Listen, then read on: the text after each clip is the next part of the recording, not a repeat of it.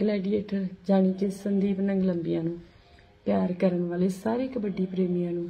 ਸਤਿ ਸ਼੍ਰੀ ਅਕਾਲ। ਕਬੱਡੀ ਪ੍ਰੇਮੀਓ, ਤੁਹਾਡੀ ਦੁਆਵਾਂ ਵਕੀਲ ਸਾਹਿਬ ਦੀ ਸਖਤ ਮਿਹਨਤ, ਪੁਲਿਸ ਦੀ ਕਾਰਵਾਈ ਅਤੇ ਪ੍ਰਮਾਤਮਾ ਦੀ ਮਿਹਰ ਸਦਕਾ ਸੰਦੀਪ ਨੂੰ ਬੇਰਹਿਮੀ ਨਾਲ ਕਤਲ ਕਰਨ ਵਾਲੇ ਦਰਿੰਦਿਆਂ ਦੇ ਨਾਂ ਬਹੁਤ ਹੀ ਜਹਿਦ ਤੋਂ ਬਾਅਦ ਆਖਿਰ ਵਿੱਚ ਸਾਹਮਣੇ ਆ ਹੀ ਗਿਆ। ਹੁਣ ਆਪਣੇ ਅੱਗੇ ਬਹੁਤ ਇੱਕ ਵੱਡੀ, ਬਹੁਤ ਵੱਡੀ ਚੁਣੌਤੀ ਇਹ ਵੀ ਹੈ ਕਿ ਜਿਨ੍ਹਾਂ ਬੰਦਿਆਂ ਨੇ ਦੁਨੀਆ ਦੇ ਮਸ਼ਹੂਰ ਕਬੱਡੀ ਖਿਡਾਰੀ ਦੇ ਕਤਲ ਕੇਸ ਵਿੱਚ ਹੁਣ ਤੱਕ ਆਪਣੇ ਨਾਮ ਆਉਣ ਤੋਂ ਰੋਕੀ ਰੱਖੇ, ਕਿ ਉਹਨਾਂ ਕਬੱਡੀ ਦੇ ਗਦਾਰ ਕਾਤਲਾਂ ਨੂੰ ਫੜ ਕੇ ਜੇਲ੍ਹ ਵਿੱਚ ਪਾਉਣਾ ਕੋਈ ਖਾਲਾ ਜੀ ਦਾ ਵਾੜਾ ਹੈ? ਮੈਨੂੰ ਲੱਗਦਾ ਬਿਲਕੁਲ ਵੀ ਨਹੀਂ।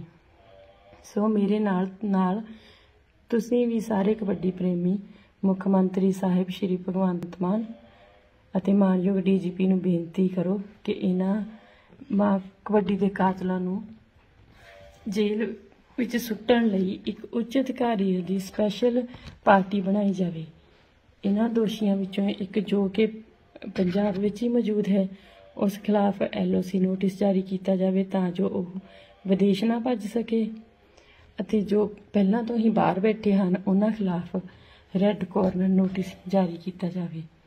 ਇਹ ਹੁਣ ਇੱਕ ਬਹੁਤ ਡਰ ਵਾਲੀ ਗੱਲ ਬਣ ਚੁੱਕੀ ਹੈ ਕਿ ਉਹਨਾਂ ਖਿਲਾਫ ਗਵਾ- ਦੋਸ਼ੀਆਂ ਖਿਲਾਫ ਗਵਾਹਾਂ ਦੇ ਨਾਮ, ਪਤੇ ਉਹ ਸਭ ਕੁਝ ਜਾਣ ਚੁੱਕੇ ਹਨ ਅਤੇ ਇਹ ਖੁੰਖਾਰੂ ਅਪਰਾਧ ਗਵਾਹਾਂ ਦਾ ਜਾਨੀ ਨੁਕਸਾਨ ਕਰ ਸਕਦੇ ਹਨ। ਸੋ ਮੇਰੀ ਪ੍ਰਸ਼ਾਸਨ ਨੂੰ ਹੱਥ ਬੰਨ੍ਹ ਕੇ ਬੇਨਤੀ ਹੈ ਕਿ ਗਵਾਹਾਂ ਨੂੰ ਇੱਕ ਚੰਗੀ ਸੁਰੱਖਿਆ ਦਿੱਤੀ ਜਾਵੇ ਤਾਂ ਜੋ ਉਹਨਾਂ ਦਾ ਕੋਈ ਜਾਨੀ ਨੁਕਸਾਨ ਨਾ ਹੋ ਸਕੇ। ਤੁਹਾਡੇ ਸਾਰਿਆਂ ਦਾ ਸੰਦੀਪ ਨੰਗਲਾਂ ਵਾਲੇ ਨੂੰ ਪਿਆਰ ਕਰਨ ਦਾ ਬਹੁਤ ਬਹੁਤ ਦਿਲੋਂ ਧੰਨਵਾਦ।